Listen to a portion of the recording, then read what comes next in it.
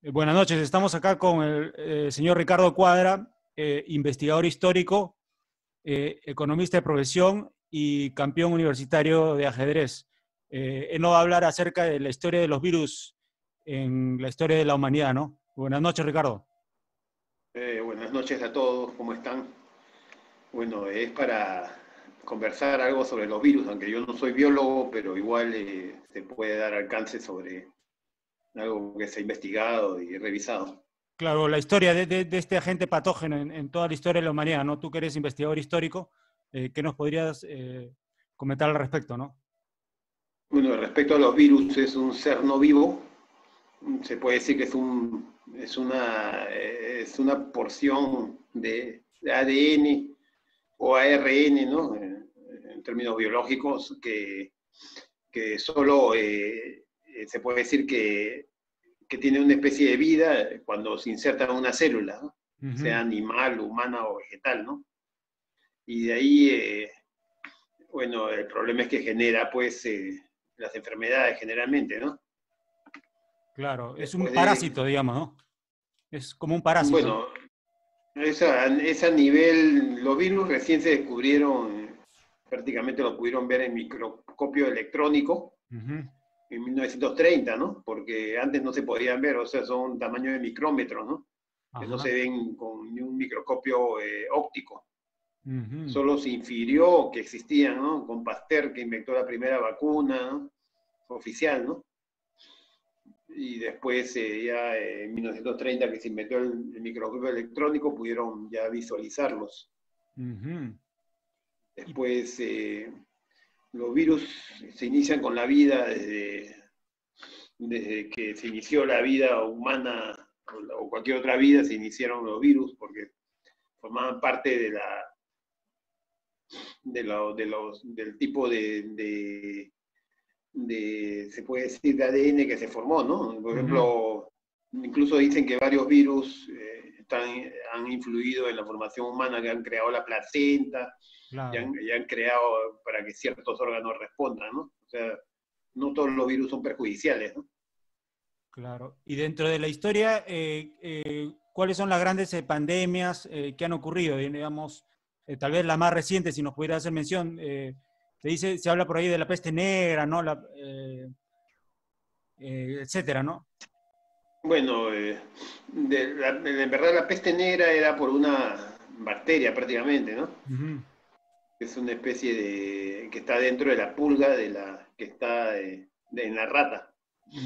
ese era el medio y ya generaba pues enfermedad entrando, entrando por esa bacteria. Cuando en ese momento, en esas épocas, años 400 antes de Cristo, 600, han habido varias pandemias, ¿no? De tipo, eh, de, con la peste bubónica, ¿no? También existe la fiebre amarilla, que es por un virus, después la, la otra, la, eh, el, tifus, otro virus. Eh, digamos, en los últimos 100, eh, 200 años, este, ¿cuáles son las este, epidemias virales que más recuerda la humanidad, no?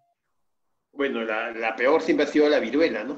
Incluso la, la viruela creaba tales tragedias que, que que por eso la gente tenía muchos hijos, ¿no? y, la, viruela no se sabía por qué era, ¿no? Es una enfermedad de origen humano también, no, es una enfermedad como la actual que salió de, los coronavirus de, de murciélagos, y después se ha transformado en un otro animal, ¿no? Pero la viruela era de origen humano, ¿no? Y se calcula solo en el siglo XX que mató como a 320 millones de personas. Mm. La viruela, ¿no?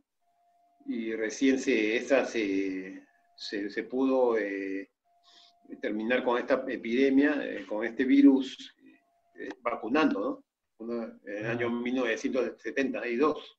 Claro, claro.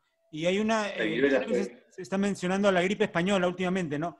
Bueno, la gripe española es un tipo de virus de gripe, ¿no? Influenza, que fue en el año 1918, pero le dijeron gripe española porque en esa época de la Primera Guerra Mundial estaba censuradas las noticias de los otros países y solo España daba noticias de una gripe que mataba. y creyeron que, bueno, que ahí se había dado más fuerte, pero en verdad esa gripe fue originaria de una granja de aves de Kansas, en Estados Unidos. Pasó con los soldados que iban a Europa y se expandió por todo el mundo. También eh, mató como a 60 millones de personas. Ah. Fue como un eh, virus muy fuerte. Parte, de la causa que mató tanta gente fue, fue que está, era eh, prácticamente en los finales de la, de la, Primera Guerra Mundial, ¿no? Agarró una, una población, digamos, empobrecida, tal vez, ¿no?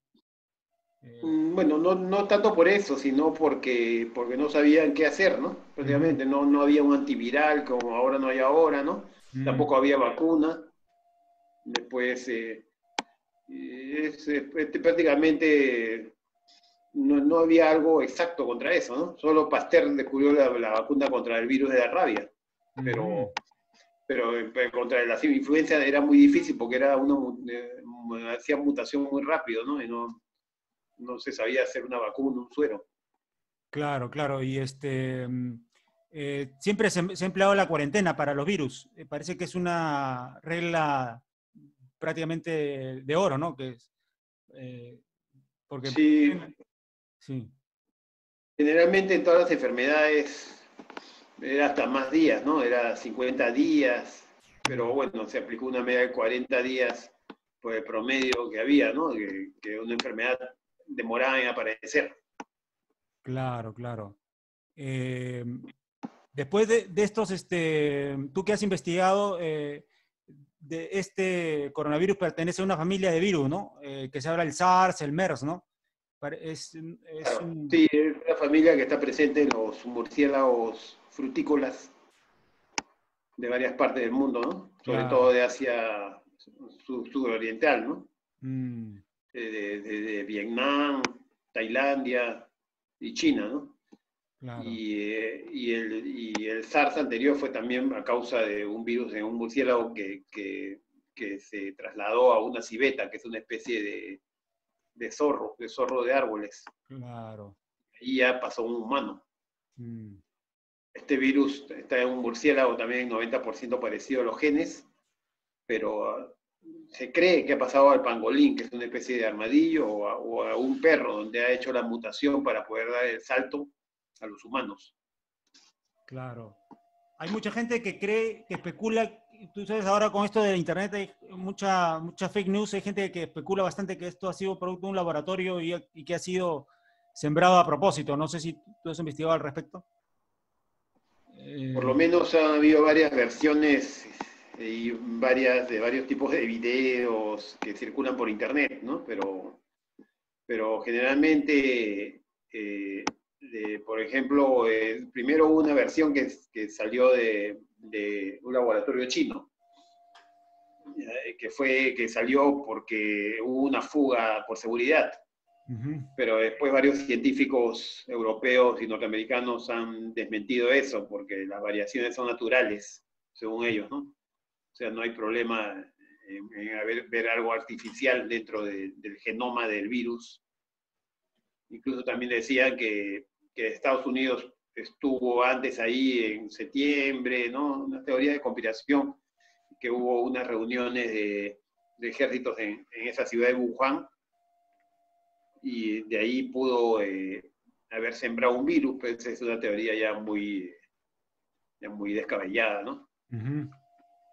Incluso hay otra teoría de que Rusia también había desarrollado y sabía, y por eso inmediatamente cerró las fronteras y cerró todo, porque ya sabía cómo iba hacer la evolución. Pero realmente no, hasta ahora todos los virus que han salido antes de viruela, rabia, han sido de origen natural. Lo único, los, únicos que han hecho, sido por arma biológica ha sido el antrax. Claro. Que fue usado en la guerra de Corea por Estados Unidos, según lo que suponen, ¿no? Y o sea un virus, es una especie de bacteria. O sea que si este virus hubiera sido el laboratorio, sería más, más mortífero, ¿no? no, no ese, tal vez sea bueno, una... bueno, ya lo detectarían en el, análisis de genoma que, se ha hecho. Lo detectarían ya ahí porque, porque según lo que, lo que dicen los biólogos, hubieran necesitado como seis mutaciones y se hubieran podido eh, dar, eh, saber las mutaciones que existían en el genoma, ¿no? Así parezcan naturales, se vería algo forzado, ¿no? Claro, claro. Después porque, porque eh, por los hechos, los hechos que rodean no, no, no eh, parece imposible, porque los laboratorios son de grado 4 de seguridad.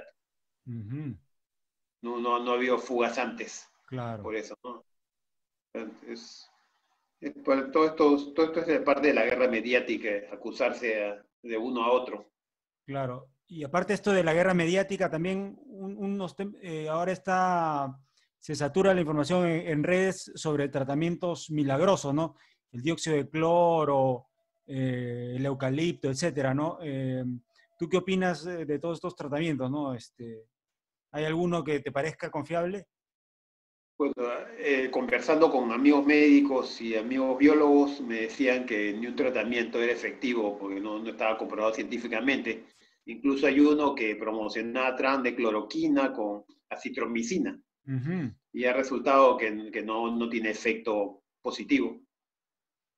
Hace unos días salió una información que no tiene efecto positivo. Después hay otro de dióxido de cloro de un, un doctor alemán, ¿no? Pero, tampoco lo han comprobado científicamente.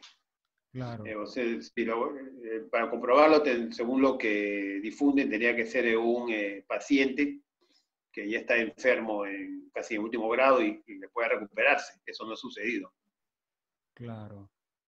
Tú que has sido campeón de ajedrez universitario, ¿cuál crees que sea la estrategia que está usando Rusia para tener una tasa de mortalidad tan baja, no? Es interesante, ¿no? Que algunos países tienen una tasa de mortalidad bien, bien baja, ¿no?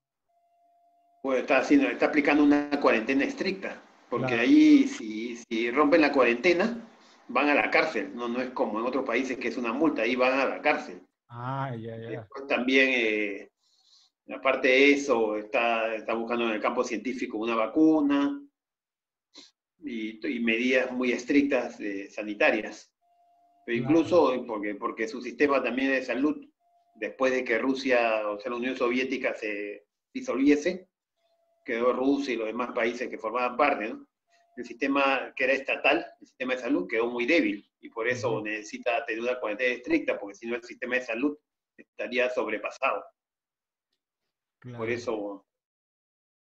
Y aparte de esto, eh, en, la transparencia, en la transparencia de información no se sabe si realmente son todos los infectados que hay en Rusia, que la mayoría son en Moscú y Leningrado, ¿no? Falta un poco más de transparencia para saber si hay más infectados de los que realmente difunden. Eh, tú que eres economista, eh, ¿cuáles son tus las proyecciones una vez que acá que comience a ceder esta, esta, esta pandemia? ¿no? Va a haber unas repercusiones tal vez que duren años, ¿no? Sobre, sobre la economía, ¿no? Bueno, eh, según la mayoría de, de, todos los analistas y, y, revisando todas las cifras, esto puede durar seis meses, ocho meses, porque el impacto va a ser fuerte al, al, eh, al cortar eh, la producción básica, ¿no? Y, al, también y por las medidas de mitigación, ¿no?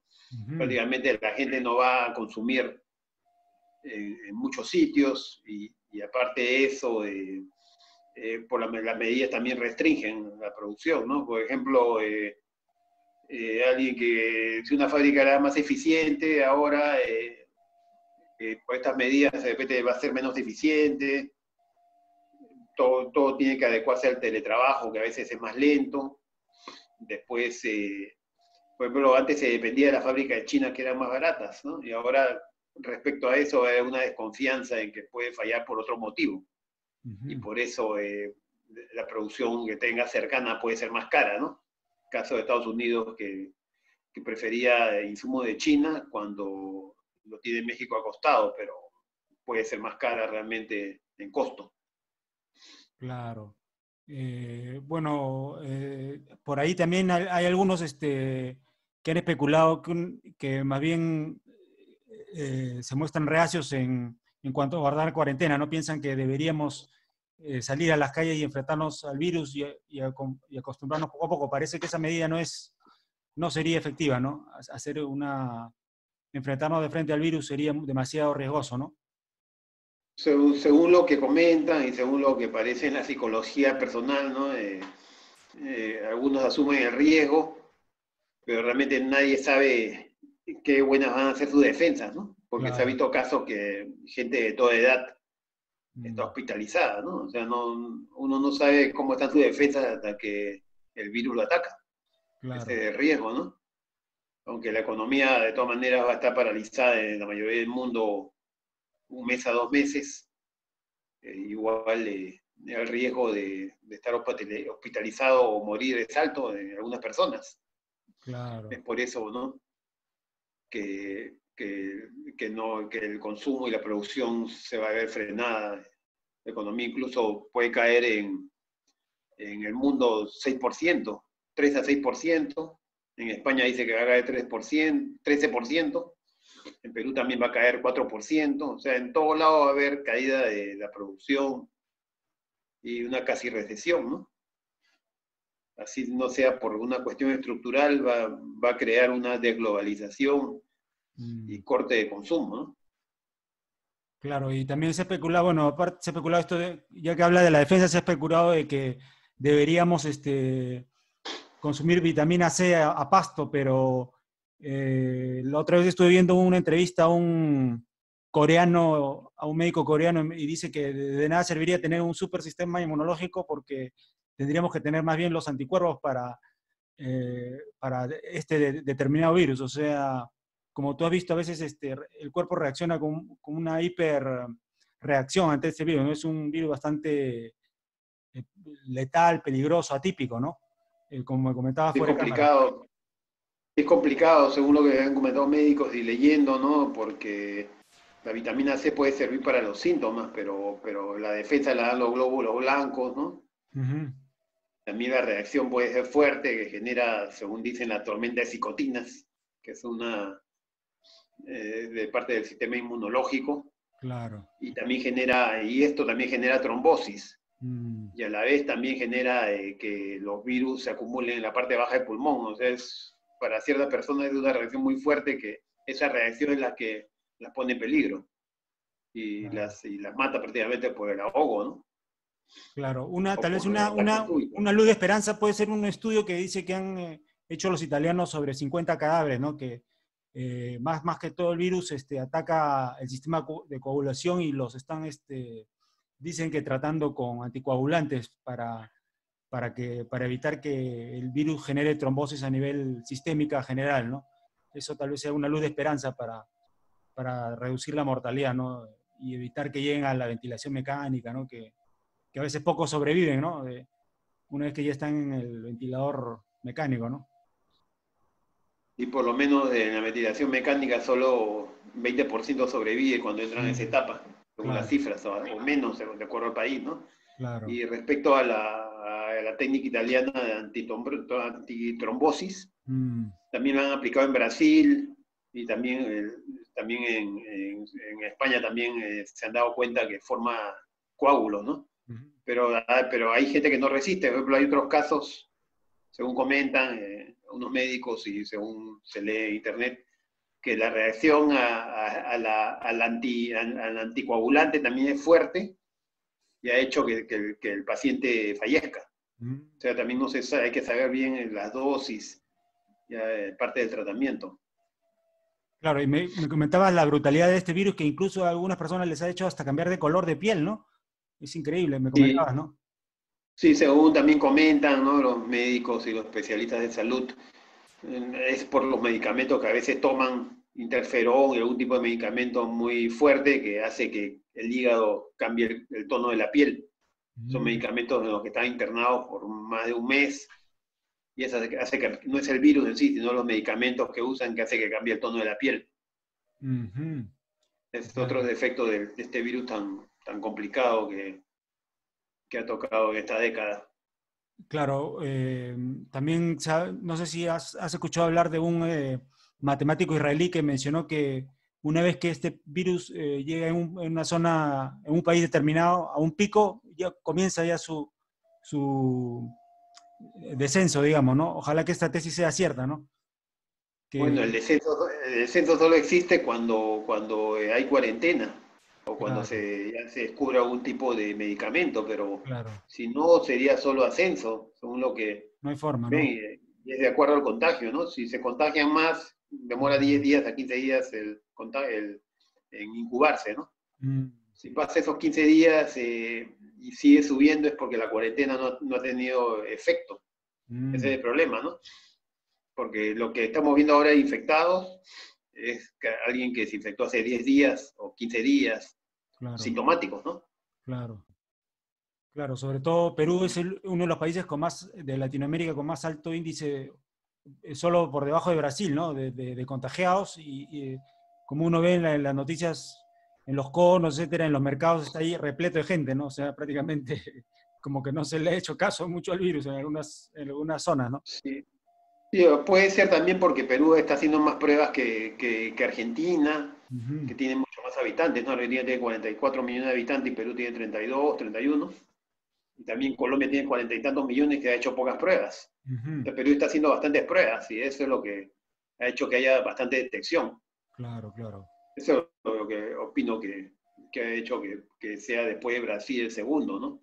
Claro. Cuando por población debería ser el cuarto, ¿no? Después de Argentina, Colombia. Pero, pero es porque han, se está haciendo bastantes pruebas ya, mm, desde mi punto de vista. Claro, claro. Muy bien, eh, algunas eh, palabras finales para ir terminando esta, esta entrevista eh, que le quisiera comentar al público que nos ve. Bueno, esperemos que encuentren un medicamento y que podamos ya retomar toda la normalidad porque la economía de todo el país está afectada, ¿no? Especialmente que ya se va a completar con esta ampliación dos meses de, cuarentena, ¿no? Mm. No es 75% lo que se afecta, creo que es 90% lo que se afectan con esta para económica. Claro. Eh, gente que como para sobrevivir, ¿no? Uno, tal vez nosotros que somos clase media lo podemos aguantar varios meses sin trabajar, pero ¿cómo será el sector pobre, ¿no? Que para que sobrevivir sin trabajar y que la mayoría son informales es realmente, algo realmente mágico, ¿no? Vamos a ver qué, qué nos depara el claro, No no tiene la capacidad de ahorro o, no han podido por X motivo. Ese es el problema, ¿no? Mm al día sin ahorro. Claro, muy bien. Eh, muchas gracias por concedernos esta entrevista. Ya eh, esperamos poder contar con tu presencia en una próxima oportunidad. Bueno, gracias, José, también por todas las preguntas. Ya, muy bien. Muchas gracias.